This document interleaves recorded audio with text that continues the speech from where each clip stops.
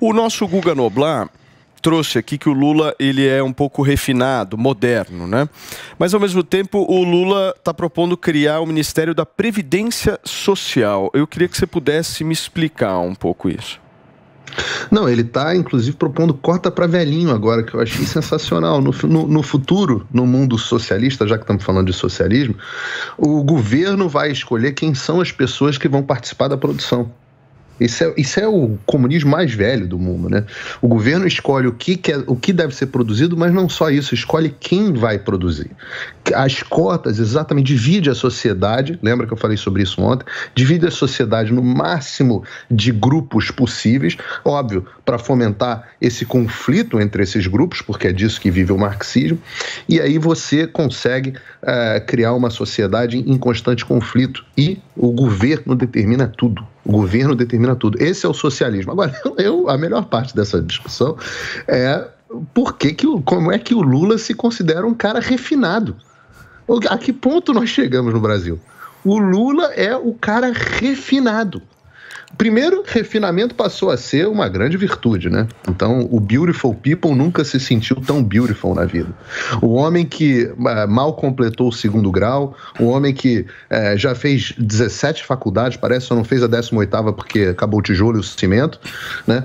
Uh, esse homem que nunca leu um livro na vida, você pergunta para ele de um livro, ele não leu livro nenhum. Esse homem se considera refinado. Ora, não tem problema nenhum na sabedoria popular. Eu acho que tem muita gente que não tem é, escolaridade, mas tem sabedoria de vida. E tem muita gente que tem escolaridade demais, mas falta vivência. E o Lula até poderia, é, parou de trabalhar muito cedo, é verdade, mas até poderia estar tá, é, se gabando de ser um homem do povo, de ser um homem é, popular, etc, etc. Mas desde 2002, desde aquele banho de loja que o Duda Mendonça deu, desde que ele começou a tomar Romane Conti e outros vinhos caríssimos, ele, ele agora ele passou a ser, ele foi adotado pelo Beautiful People. Ele agora faz parte desse socialismo refinado. E o que eu acho mais legal, Paulo, no socialismo refinado, é que acaba a discussão de se o Lula é socialista. Eu espero que acabe. Porque também já tem outros vídeos dele falando de socialismo para trás e até hoje as pessoas não reconhecem uh, o socialismo do Lula. Então, socialismo, socialista já está assumido que ele é. Agora, socialismo refinado. Vamos explicar a diferença entre os tipos de socialismo.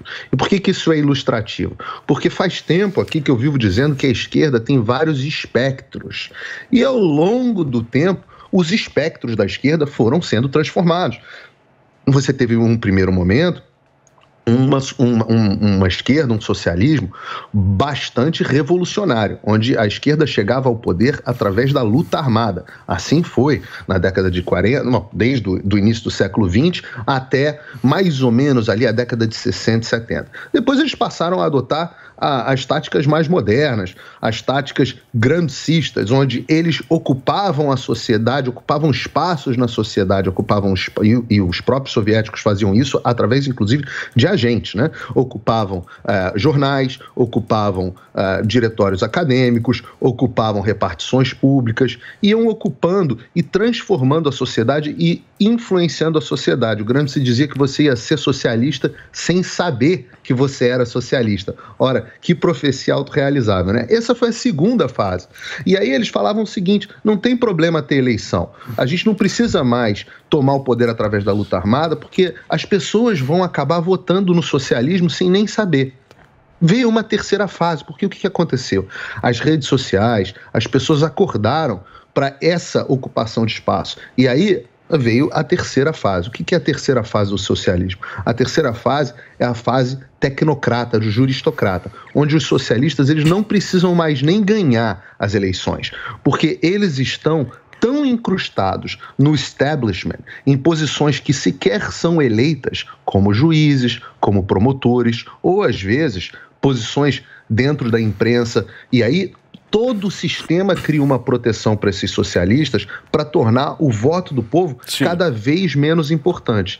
E aí eles tomam o poder e ficam, no, como disse o José Dirceu, eles tomam o poder e ficam no poder, que é uma coisa muito diferente de ganhar as eleições. Essa, esse, esse último, o socialismo onde todo o establishment é socialista e a vontade do povo não importa mais, esse é que é o socialismo refinado.